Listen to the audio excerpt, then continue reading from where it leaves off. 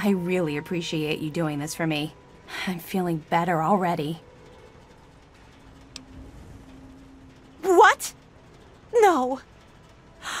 Oh my god! I should never have left. I knew it. Now they're all dead. Oh, wait a second. What about my brother?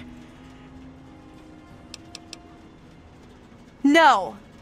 I refuse to believe that. You must find him.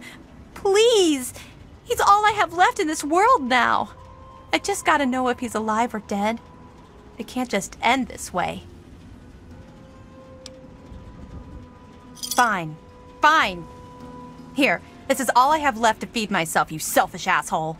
I don't care anymore. I just want to know where my brother is.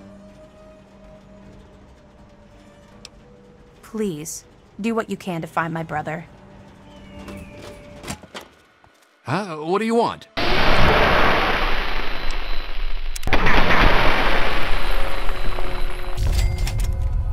My sympathies go out.